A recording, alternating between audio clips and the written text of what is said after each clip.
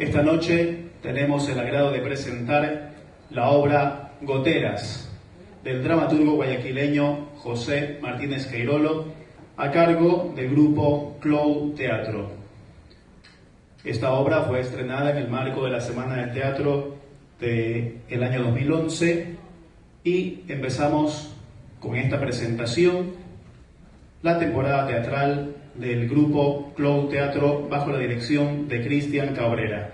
Los invitamos además para que el próximo miércoles a esta misma hora presencien ustedes la obra La Casa del que dirán, también del dramaturgo guayaquileño José Martínez Queirolo. Les rogamos que ustedes apaguen o silencien los teléfonos celulares para el mayor disfrute del espectáculo. Bienvenidos.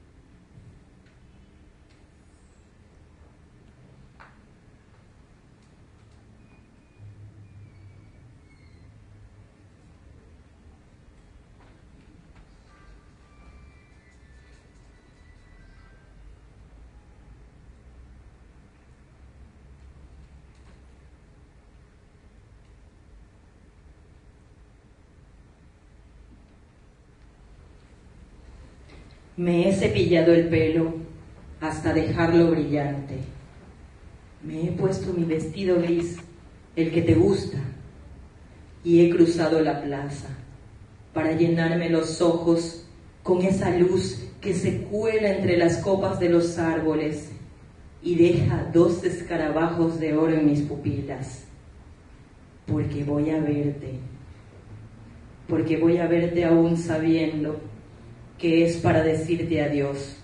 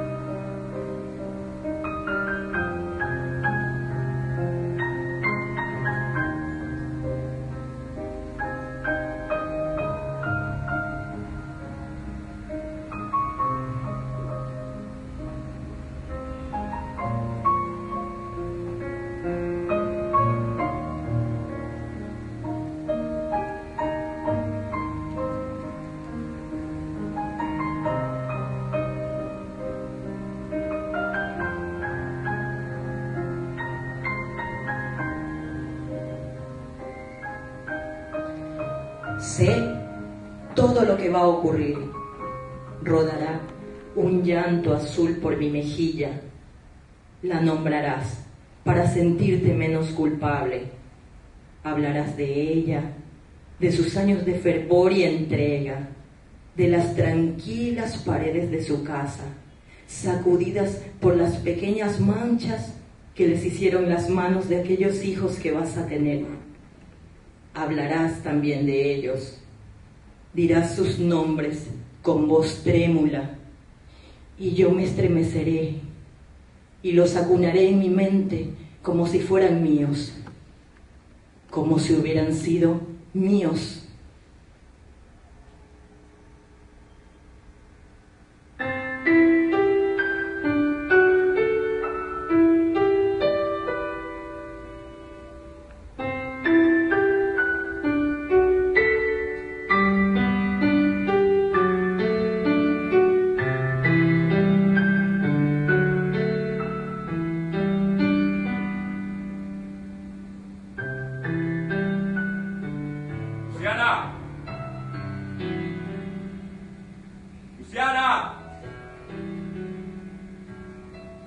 But don't.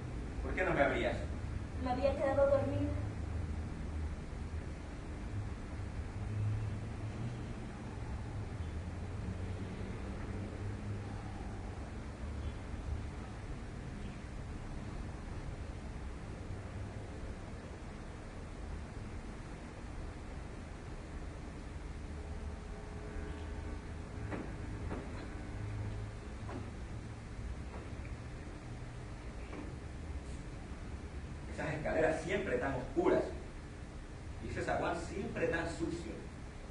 ¿Por qué no vas de vez en cuando a limpiarlo? Lo limpio, mi amor, lo limpio. Lo que pasa es que por las noches permanece abierto y los borrachos. No solo los borrachos. Esta es una casa de. No lo digas. Jorge, esta casa la mantengo limpia para ti y para mí. Lo que ocurra más allá nada debe importar. ¿Has estado llorando? No.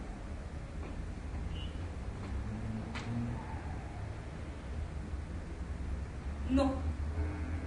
Claro que motivos no me han faltado. Hace exactamente 15 días que no se te ve por aquí. No. Claro que motivos no me han faltado. Hace exactamente 15 días que no se te ve por aquí. Tú sabes que cuando no vengo es porque estoy ocupado. El trabajo, los compromisos, los exámenes en la universidad. Los, los exámenes, mi amor. ¿Cómo saliste? Bien solo bien. Te aprobaron. Sí. Bravo, mi amor. Felicidades, ven, siéntate. Así se hace, mi amor. Esto tenemos que celebrarlo.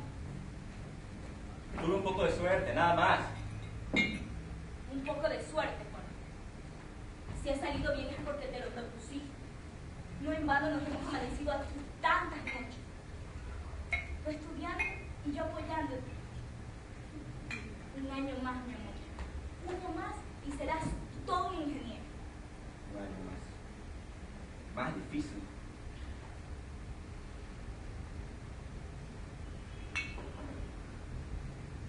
Mi amor, prométeme una cosa. Prométeme que no vas a dejar que nada ni nadie se interponga. Que no vas a cometer ninguna locura antes de graduarte casarte, por ejemplo. La soledad es mala consejera. Todo hombre necesita tener una. Tú no necesitas a nadie, mi amor. Tú me tienes a mí, a mí. Prométemelo, Jorge. Mi amor, prométeme. Jorge, mírame y prométeme. Mírame. ¡Jorge, que me lo prometas!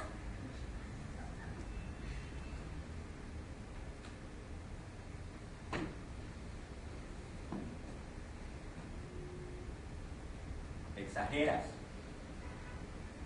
Muchos de mis amigos se han casado. Y no por eso han abandonado los estudios. Antes por el contrario. Parece como si el matrimonio fuera para ellos un estímulo. Ellos podrán, ellos sí, pero tú no. Te conozco. Viéndote casado no vas a poder afrontar todas esas responsabilidades que un matrimonio trae consigo. Si la novia tiene una buena posición económica, Jorge, es lo más indicado para iniciar una profesión. Debo marcharme enseguida. De la oficina me envían a la capital para resolver un asunto muy importante. Salgo mañana a primera hora y apenas me queda tiempo para efectuar algunas cosas que tenía pendientes. ¿quieres decir que has venido a despedirte? Sí.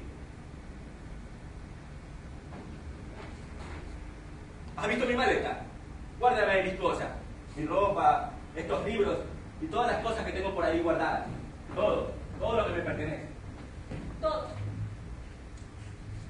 Todo.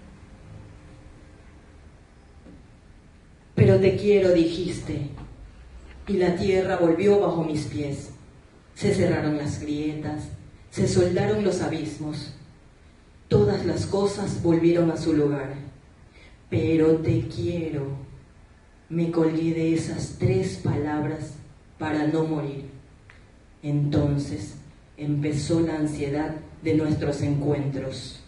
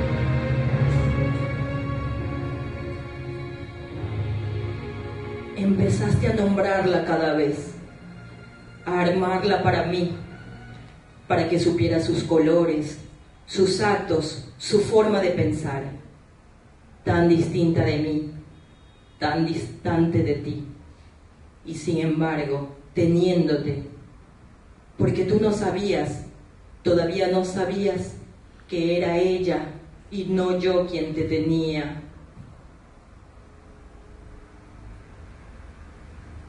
Todo.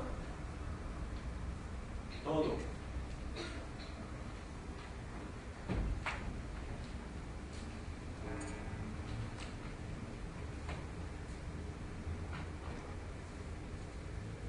Jorge, si piensas marcharte, ¿no te parece injusta la prisa que tienes por?